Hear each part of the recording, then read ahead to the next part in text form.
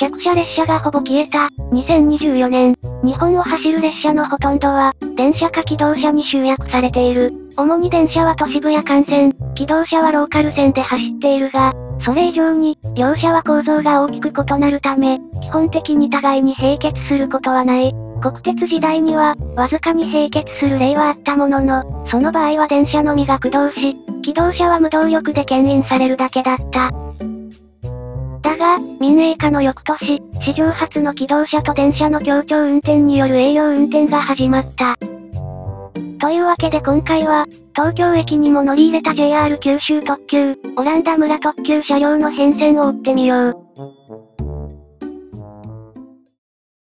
時は1983年、長崎県西市町に、テーマパーク長崎オランダ村がオープンした。長崎県は、江戸時代で島を通じて、オランダと深い関わりがあった。その縁で、中世オランダの街並みを、そのまま大村湾に再現しようとしたのだ。オランダ村は、折からの後継機もあって、開業当初から人気を博したが、最寄りの鉄道駅である灰崎からは20キロ以上離れており、アクセスは自家用車に依存していた。そこで1987年に誕生した JR 九州は、福岡県からオランダ村周辺まで専用特急を走らせ、路線バスと連絡することで、需要を鉄道に取り込もうとした。オランダ村特急用に新造されたのは、当時最新だったキハ183系線番台。国鉄が特急北斗の高速化のため、1986年に投入したいわゆる N183 系と基本設計は同じだが、先頭車をパノラマ展望車とするなど、その外観は大きく異なっている。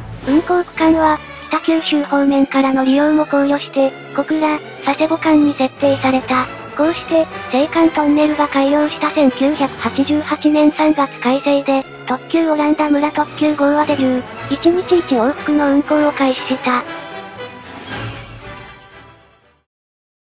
それでは、当時のダイヤを見てみよう。特急オランダ村特急号は、全車普通車指定席の3両編成で運転された。列車は8時4分に小倉を発車、戸端、黒崎、折尾、カシーに停車し、9時7分に博多に到着。同駅では9分停車した後、9時16分に発車する。9時37分着の鳥栖からは長崎本線に入り、佐賀、武雄温泉、廃棄に停車。終着の佐世保には、11時14分に到着した。一方の上り列車は、詳細な時刻は不明だが午後に設定されたようで、福岡県からオランダ村への行楽に便利なダイヤが組まれていたことがわかる。そして、このオランダ村特急の最大の特徴は、小倉、都市間で485系電車と並結運転を行っていたことだ。1988年3月のデビュー当初は全区間単独運転だったが、翌年の1989年4月にダイヤが一部変更され、文字港、博多間で485系の定期特急有明との並結を開始。これは、電車と機動車の双方の動力を使うという、営業運転としては史上初の協調運転だった。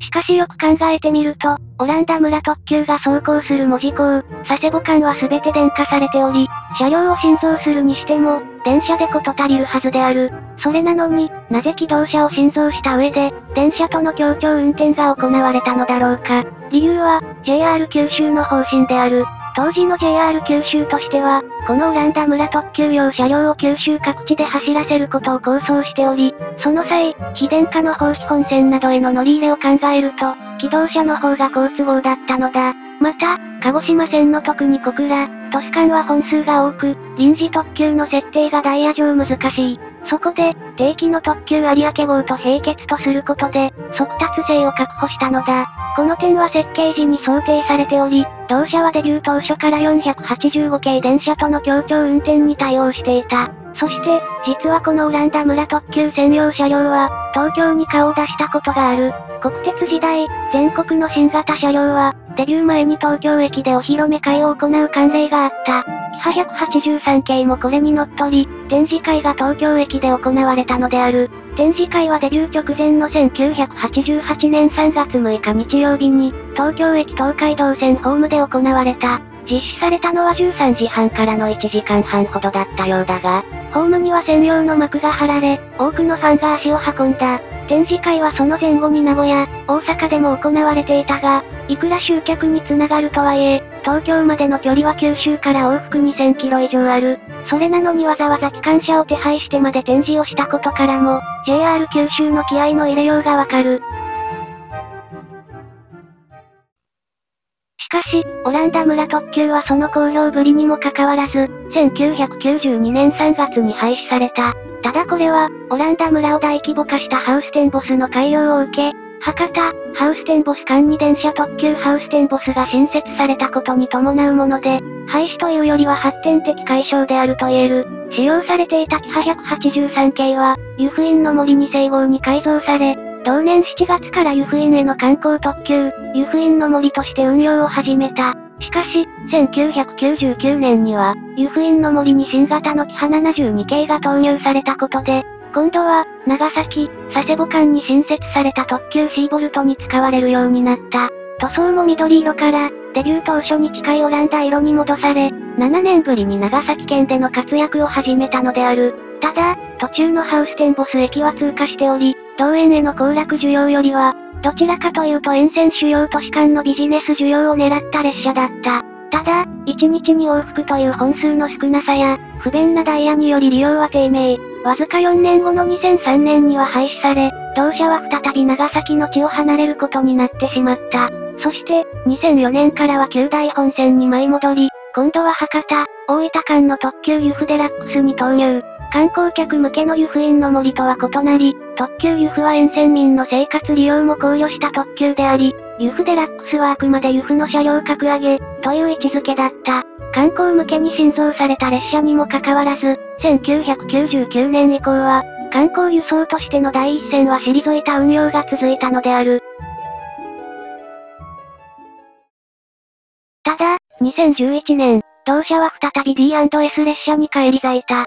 きっかけは同年3月の九州新幹線博多、新八代間の開業である。これに合わせて、JR 九州は熊本から伸びる方比本線に新型観光列車を入れることとしたのだが、その車両として、キハ183系が抜擢されたのだ。同社は製造後5度目の改造を受け、同年6月から特急アソボーイとして登場。熊本、別府間で運転を開始した。2016年には熊本地震により運休を余儀なくされたが、2020年には運行を全面的に再開している。ただ、2024年現在、同社は製造から36年が経過。老朽化が進んでおり、幾多の改造を経た同社も、遊ぼういが最後の活躍となる可能性が高い。引退もそう遠くはないと思われるので、皆さんも乗り納めはお早めに。